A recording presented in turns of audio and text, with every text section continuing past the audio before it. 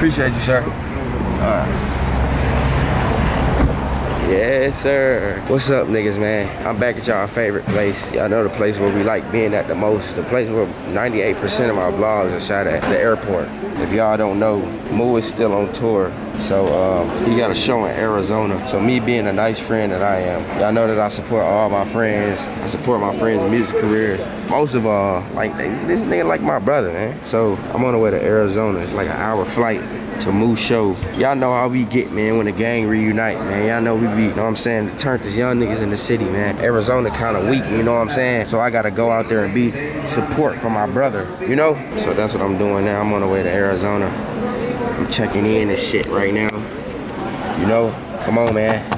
Look at that boarding time, 10:38. What time is it? 10:15. I got a little bit, you know, a little bit of time, you know. Y'all know where we sitting at, like always. You know what I'm saying? I think 3F is my favorite seat. I sit in seat 3F damn near all the time. Like that gotta be my favorite seat number. I'm about to walk through this shit and go check in. You know what I'm saying? I'm a I'm a clear member. So I, I gotta go to clear. I pay for this high ass clear. Clear not high, I lied. But it's like $167 a year. So why not use it every time I go to the airport? So that's why I'm finna walk through clear right now. If oh, y'all remember Seth Feinberg? Yes, sir. Spotted him. Seth Feinberg, my guy. What's going on? Bitch ass nigga, why do not fuck with you?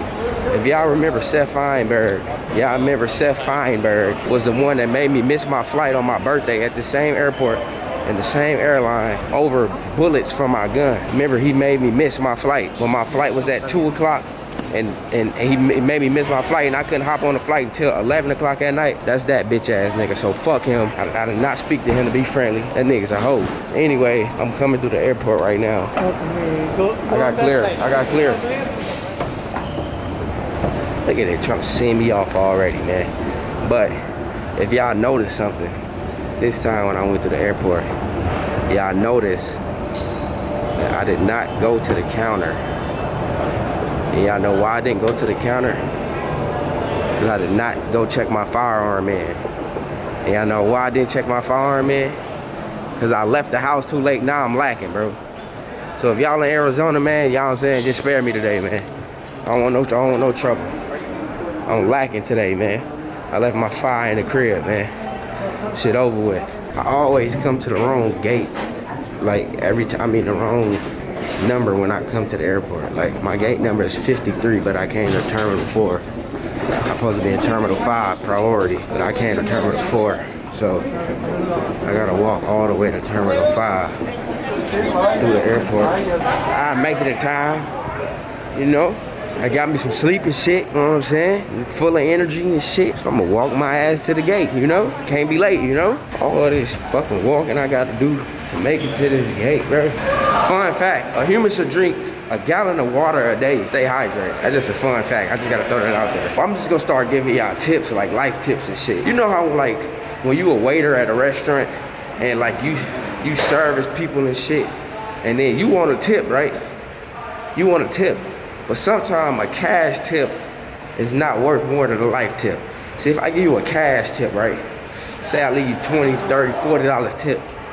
You gonna spend that shit like this. You know what I'm saying? That shit gonna be gone like in a matter of a day or two. That shit gonna be gone. But if I give you a life tip, that's something that stick with you forever, bro. Like, the tip gonna stick with you forever. So tip number one, I love giving this tip out. I love writing on my receipt and shit. Tip number one, don't walk down dark alleys at nighttime. That's a great ass tip. Like that tip's so good. Like you know what happened to alleys at nighttime, bro? You might get killed, mug, robbed, jump, beat up, whatever. So for that, for that one, for that tip, you don't walk down dark alleys at night.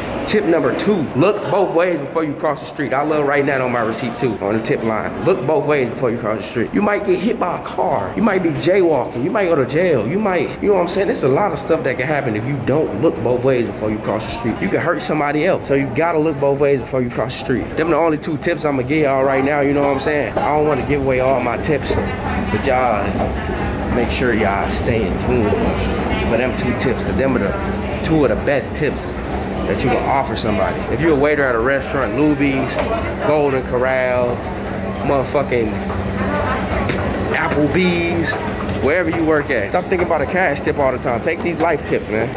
I just got to my gate. This line is so long to get on the plane, bro. Like, so long.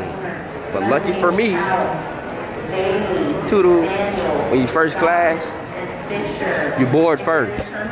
Y'all look at this long ass shit, man.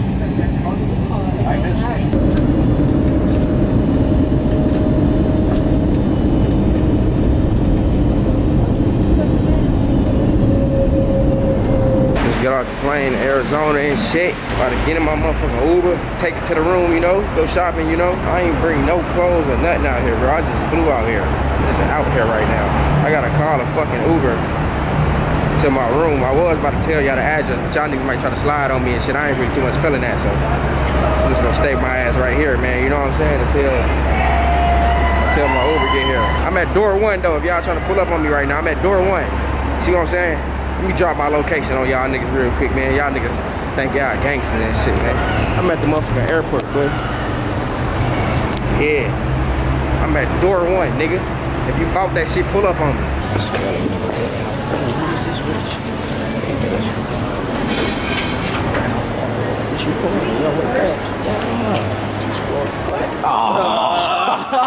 Nigga out of pocket, boy. They put the shacks on my end and he wrong for that, bro. I ain't gonna lie.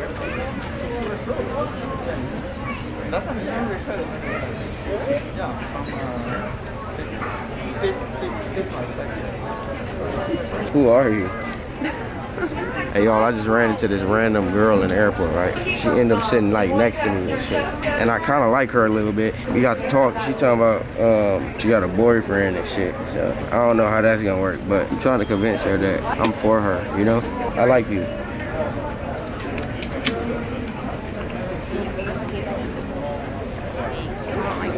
Why? What you mean you don't like me? Why? I don't I don't know you to be your friend. I do like you though. Nothing.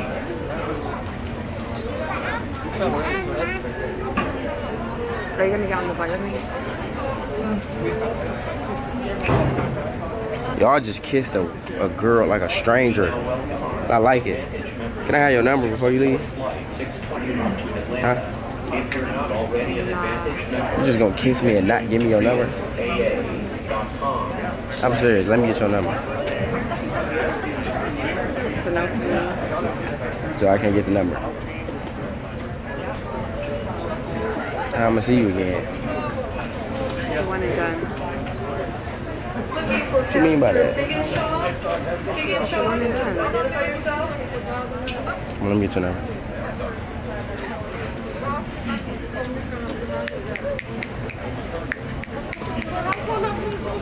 I don't know, y'all. She gonna give me her number, so I guess we ain't never gonna see each other no more. Huh? You gotta just dip. No number, no nothing. Huh? You about to just dip?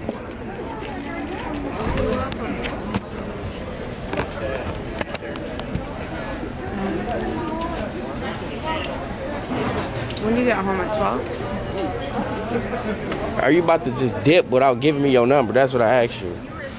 Just asked you, was you about to leave without giving me your phone number? Are you serious? No number for me. Mm-mm. Why? If you don't give me your number, I'm about to get loud. Get loud. You won't. I'm gonna just leave you right here then. I'm about to go to my plane and shit. I ain't. Nice to meet you though. That's it. Little handshake. Just gonna go from giving kisses to homeboy daps and shit like I dap my homie up. Yeah. Alright, bet. Fuck with you.